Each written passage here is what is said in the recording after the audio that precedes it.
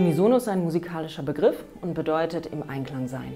Und dieses im Einklang sein, wenn zum Beispiel alle eine Melodie spielen oder singen, dann kann das eine ästhetische Erfahrung, das kann aber auch eine menschenverbindende Erfahrung sein.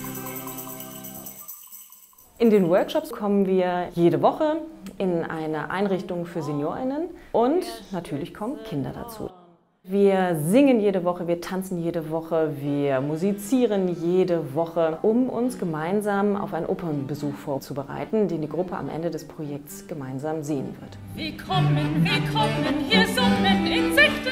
Kita-Kinder und Menschen mit Demenz durch eine musikalische Brücke zu verbinden, dass sie ein Verständnis füreinander entwickeln. Das ist das Herzstück von Unisono.